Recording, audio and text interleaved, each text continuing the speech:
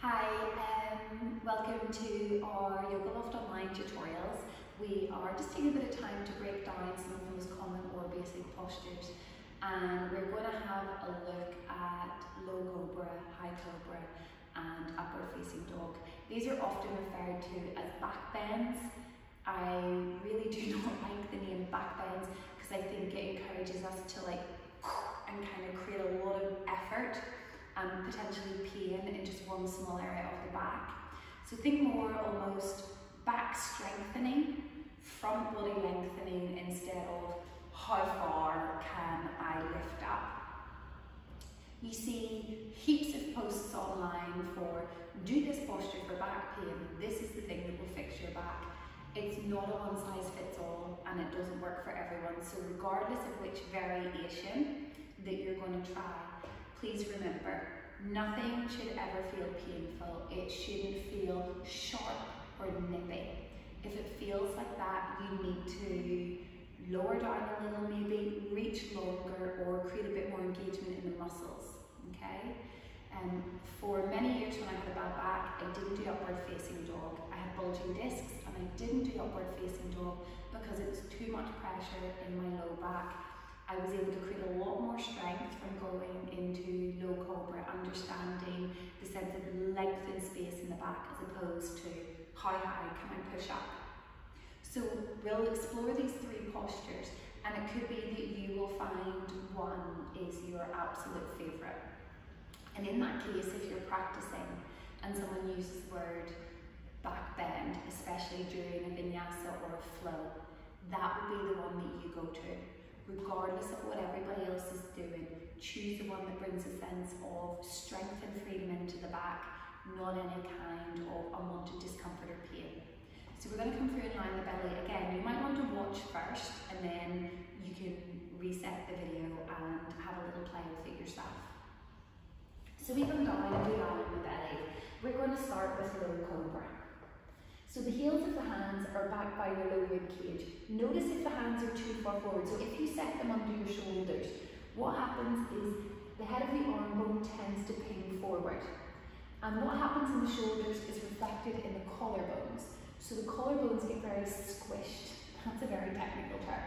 So they get very squished. So slide the heel of the hand back to the point that you feel the scapula in the back settle into its nice neutral place not yanked down, not pulled up, lots of space through the front of the body. What we see a lot of is whenever people go to lift, they just lift the head. Now, that isn't going to feel nice in the back of the neck. We want to lengthen all the way through the back of the neck. So be aware of lifting the back of the skull up as opposed to taking the gaze forward. So we're going to slide the heels of the hands back somewhere by the low rib cage. Feel your elbows point to the back of the rib. Start to think about your feet reaching out long behind you and the crown of the head almost reaching forward. Squeeze the glutes. Yes, that's right. Give your bum a little bit of a squeeze. Feel the muscles in the back of the body start to light up. Don't push through the hands, but rather energetically feel like you're pulling the heels of the hands back. It's an isometric movement. It might not feel like much is happening, but it helps engage the muscles in the back body and helps us create a little bit more length in space. So when you're ready, big inhale. Squeeze the glutes, use the muscles in the back. Leg muscles are on. Heels of hands slide back. Lift and lengthen. Keep the neck nice and long. Now notice if you're pushing the belly into the floor and see if you can imagine that you're trying to slurp the navel up off the mat. So a sense of strength in the back, length in the front body, and no discomfort or pain. If you were experiencing pain, we lower down a little and think, ah, does that feel better? Or maybe reach longer and notice, does that feel better? Come all the way down. Give your hips a little wiggle. And we're going to lift into a high cobra. So now we need to use a little bit of effort from the arms, not just the effort in the back, to think pull and then lift. So take an inhale, engage the muscles in the back of the body. Start to lift and lengthen. So in your high cobra, you're keeping the pelvis down. You might come up a little bit and think that's enough. You might come up a little bit more. Any nipping or pinching, readjust to where it feels good. Shoulder blades do not move. If they've pinned up, you've gone too far, and come down a little lower. So have a bit of a play, notice engagement from the front of the body. Lower as you exhale. Take your hands just out in front of you, you can rest your head on your forearms, give your back a little wiggle. If every time you come out of a low high cobra, upward facing dog, you feel like you need to press into child's pose and it's a bit like, and there's a bit of a groan, I'd suggest that maybe you're lifting too far, too high, and that you might need to make the movement a little bit slower. So have a play with that.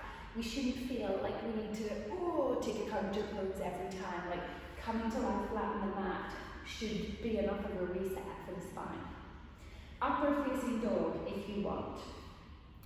So remember this is a posture I didn't do for a long time. It used to really irritate my back. So hands are in the same place, elbows point back, and you lift up through the other two postures first. So fire up the muscles in the back.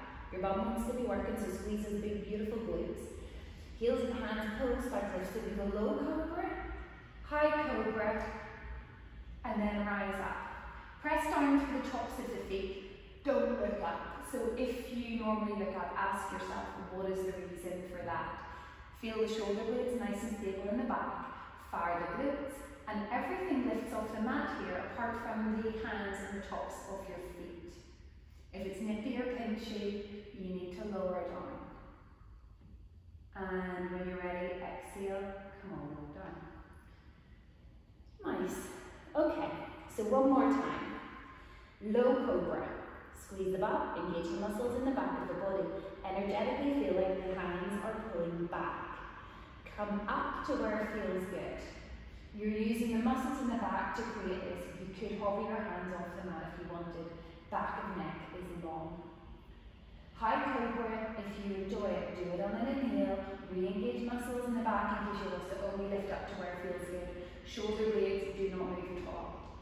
Upward facing dog, lift and push just a little. Don't let the shoulder blades move. Squeeze the glutes. Feel the sense of length over the front of the body.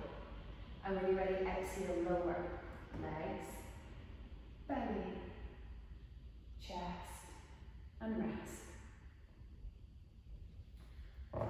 So have a little bit of a play. Those are just a few of the most common back bends. You can give them like your own name if you want, but just remember during a vinyasa, a flow style class, or in fact any class we you're offered a variation of back bend, what one actually feels better in your body which one brings a sense of strength, stability, and a little bit of length and space.